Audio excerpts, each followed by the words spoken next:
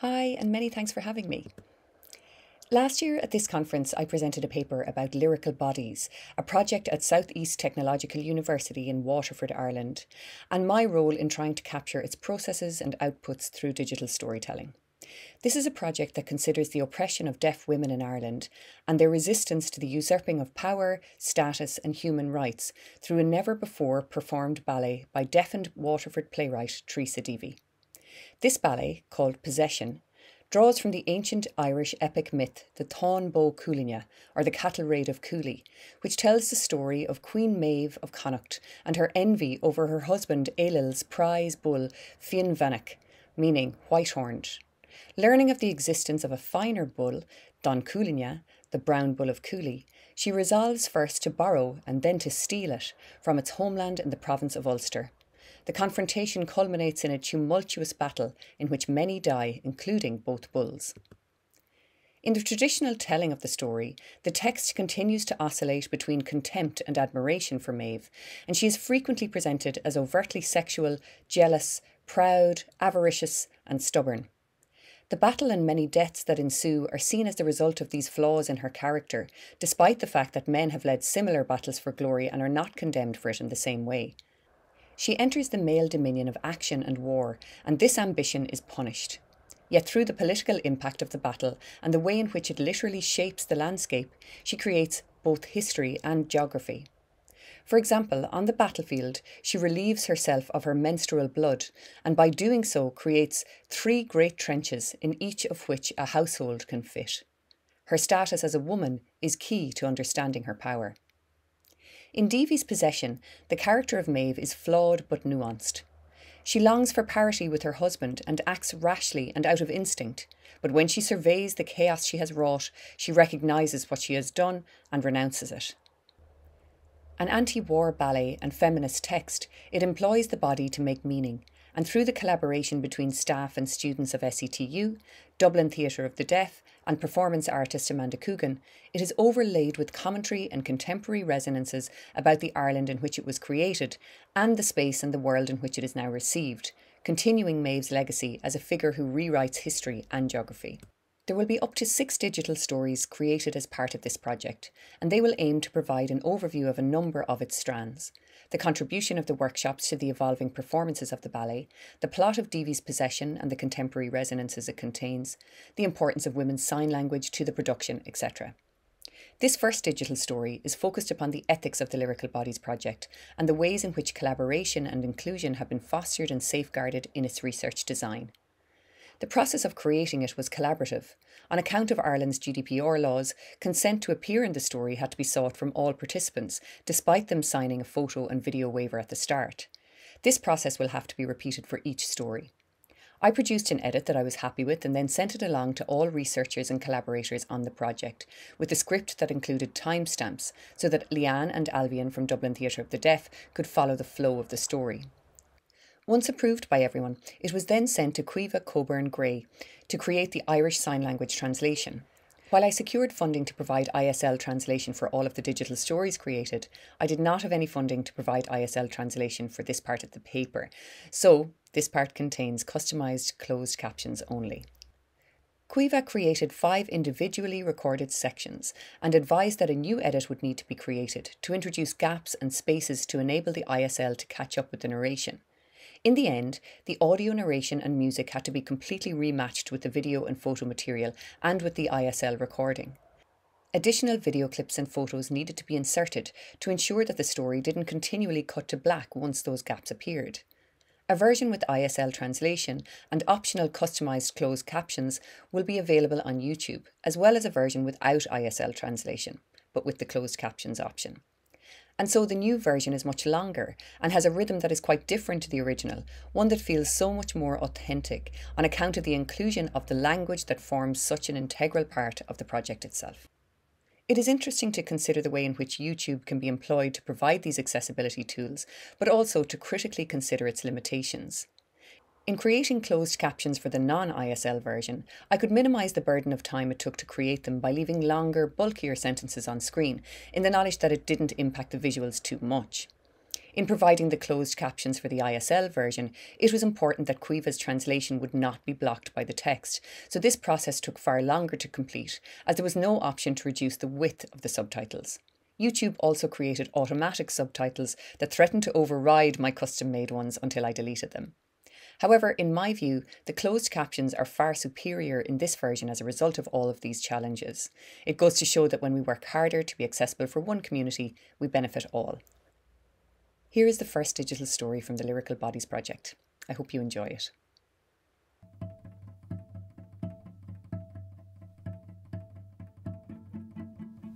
The dance studio in the SETU College Street campus is starkly lit and uninspiring.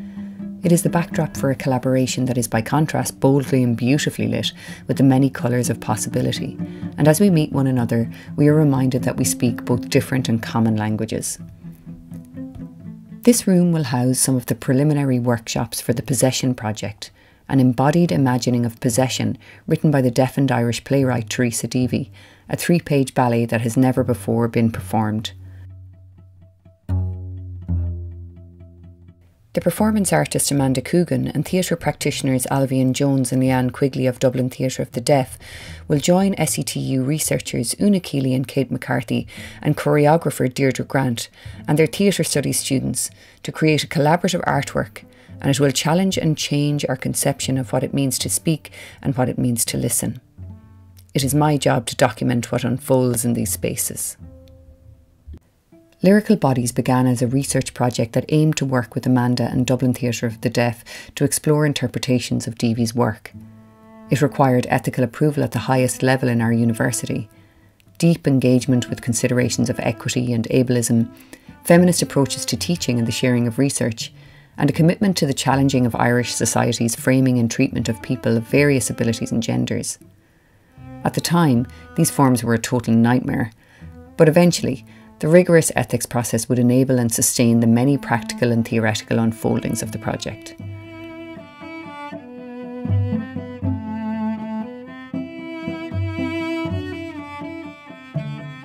In April and June 2022, we gather together in this drab room and the group focuses on key scenes a gratuitous celebration of wealth and possessions, bulls preparing for battle, sombre enactments of death and the devastation of war.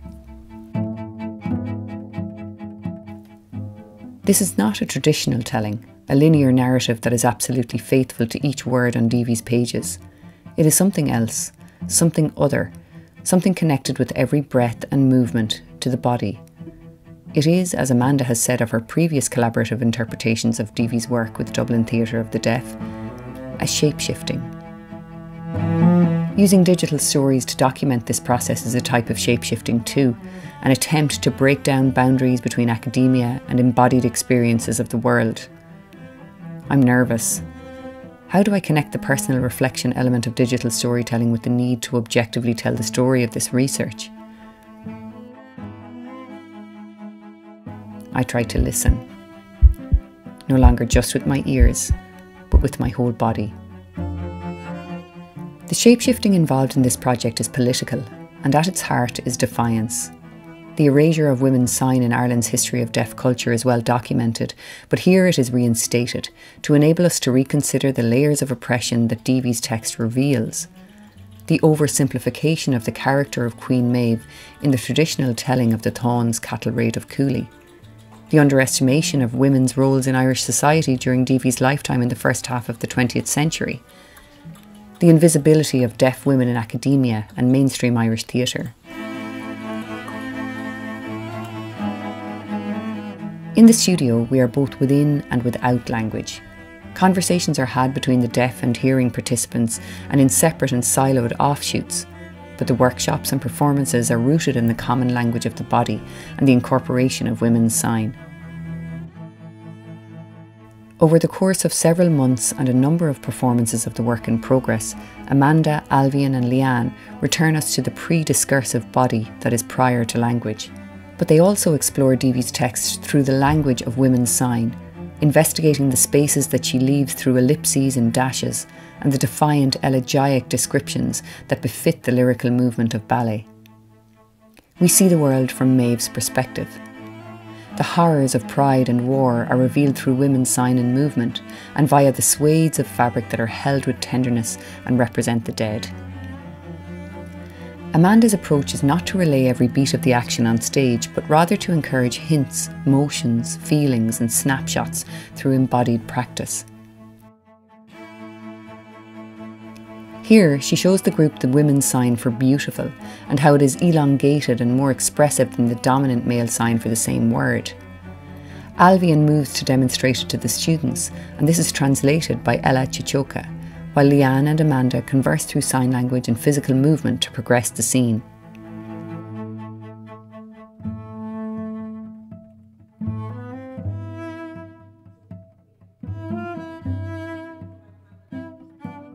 This is what Sara Ahmed calls feminist practice, in which activism and feminist methodologies meet. Una and Kate weave this ethic into all of their research, and they commit again and again to the imperative for scholarly work to engage in activism and to connect authentically with the outside world, as Pierre Bourdieu would have us do. It strikes me as I document and reflect later that the digital stories also bear a duty to reveal these moments that are otherwise ephemeral and that foreground deaf culture, women's experience, and women's sign in action. They might, in another project, remain among the academic pages of a journal, described and never seen by those who merely read about it.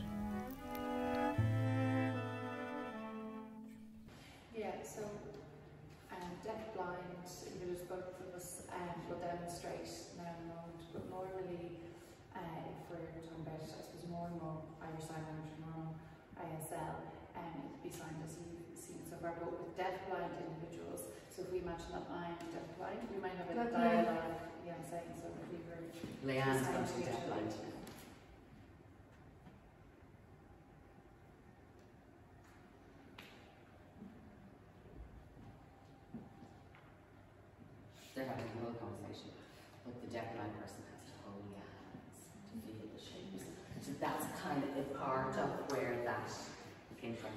When. That code. Uh, the visual metaphor of the unfolding fabric is central to the ethics of this project.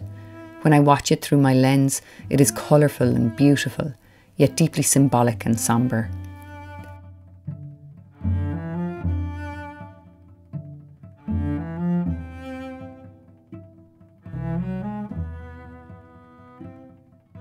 I see promising students, accomplished academics, and award winning theatre practitioners moving together as equals, to give body to Deevy's ballet. The fabric is solidly anchored to the wall, just as the ethics of the project are deeply embedded, and this is what enables the rich unfolding to take place.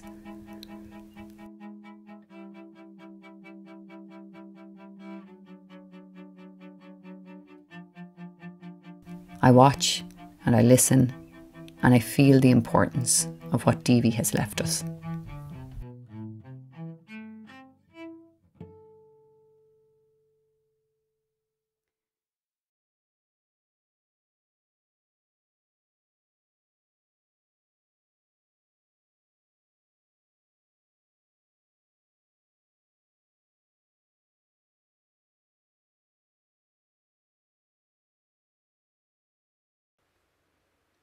Many thanks for giving this story your attention.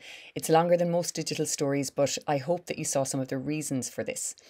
I'd love to hear your thoughts, so if you'd like to contact me, my email is here. Many thanks again.